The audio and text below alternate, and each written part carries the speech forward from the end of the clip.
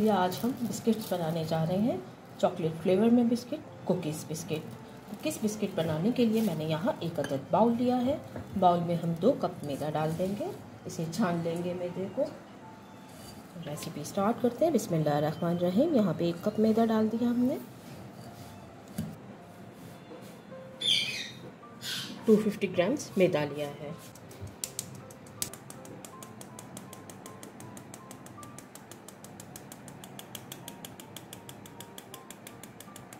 White flower को हमने छान के 250 ग्राम को रख लिया इसे एक साइड पे रख देते हैं।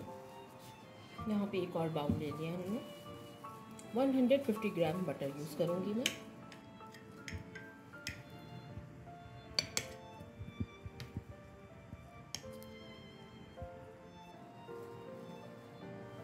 बाउल में बटर ऐड कर देंगे।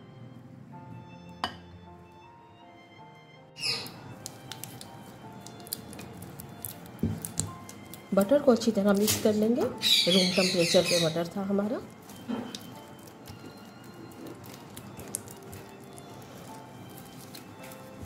One fifty gram sugar add कर देंगे। शुगर को थोड़ा सा पीस लीजिएगा। One tablespoon vanilla essence use करेंगे।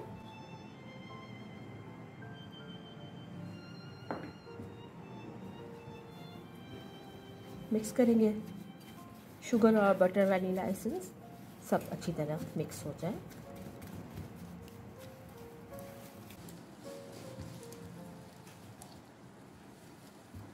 One tablespoon baking powder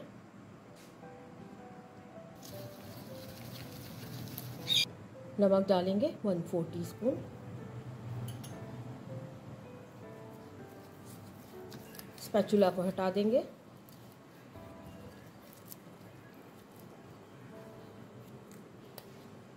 hand mixer की मदद से अब ज़रा अच्छे तरीके से बटर और शुगर को मिक्स कर लेंगे, ताकि ये वाइट और फ्लफी हो जाए। बटर शुगर और वनीला एसेंस और नमक के बैटर को जो हमने अच्छी तरह मिक्स कर लिया, इसके बाद हमने जो फ्लावर को छान के रखा था थोड़ा थोड़ा डालेंगे और मिक्स करेंगे इसे।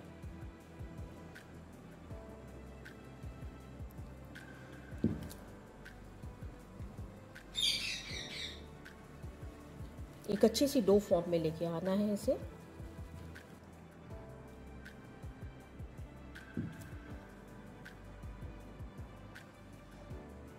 मैदा डालने के बाद अच्छे तरीके से मिक्स किया है। अब सारी डो को उठाकर हम काउंटर पे लेकर आएँगे।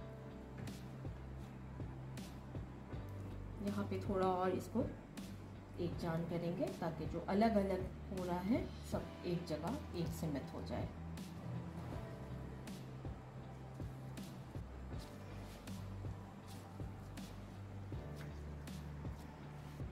डो को यकजा कर लिया है। अब इसको दो पार्ट पार्ट में डिवाइड कर देंगे। एक पार्ट में डालेंगे हम कोका पाउडर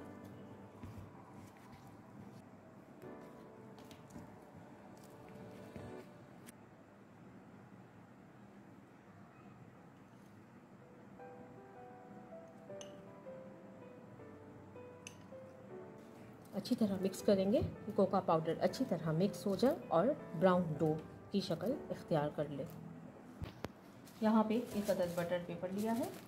इसके ऊपर हम कोका पाउडर वाली डो रखते हैं अपनी।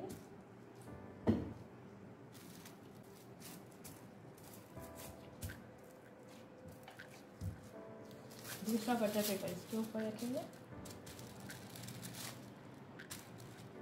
अब इसे रोटी बेलने वाले, इसके साथ आप बेल लें।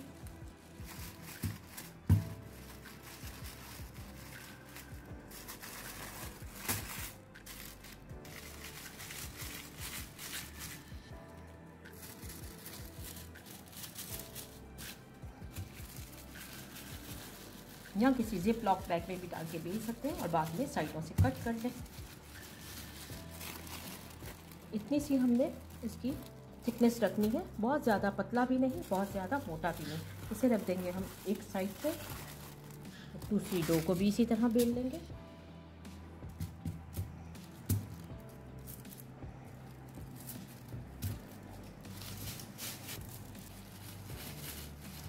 बिल्कुल सेम प्रोसेस करना है, जो कि हमने कोका पाउडर वाली डो में किया, इसी तरह इसको भी देख लेना है।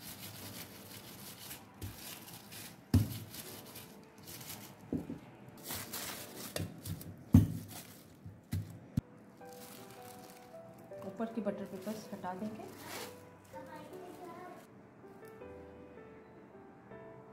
मैंने हार्ट शेप लिया है राउंड शेप लिया है, इस शेप पे हम काट लेंगे। कुकीज़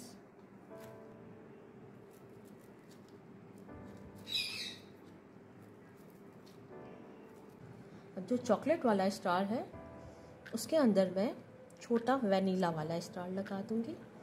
तो ये कितना अच्छा कुकीज़ बन गया हमारा।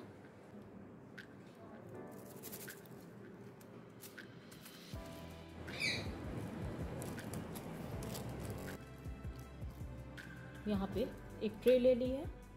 और विदाउट ओवन बेक करेंगे। अपने कुकीज़ को बहुत ही अच्छे तरीके से बेक हो जाएँगे। ये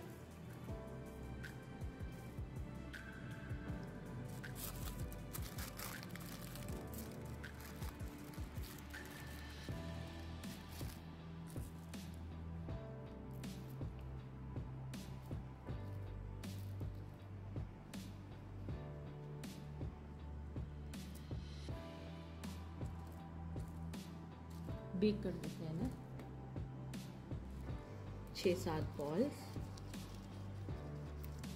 इस तरह। अभी ये रफली है।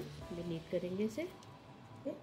वनीला फ्लेवर वाले हम लगा के देखेंगे। फ्लावर की शेप दे रहे हैं कितने अच्छा फ्लावर की शेप में आएँगे। सिक्स आते हैं कि सेवन लगा कर देख लेते हैं।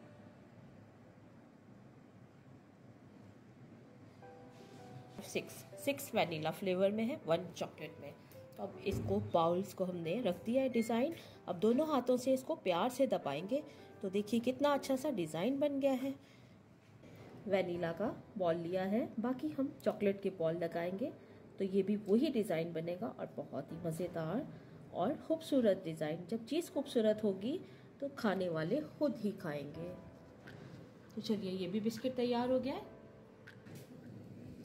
यहाँ पे ये दो बिस्किट्स निकल आए हैं।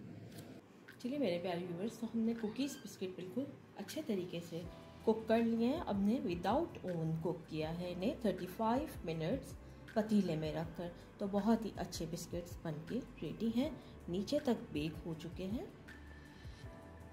करंच है। तो ज़रूर इसी रेसिपी को फॉलो करते हुए ट्राई कीजिए। साफ़ सुथरे तरीके से कम पैसों में अच्छी चीज़ घर में बनाइए। इन्जॉय कीजिए। अपने बच्चों के साथ, अपनी फैमिली के साथ। फ्रेंड्स के साथ इसी के साथ इजाज़त देती चाहती हूँ। अल्लाह हाफिज़।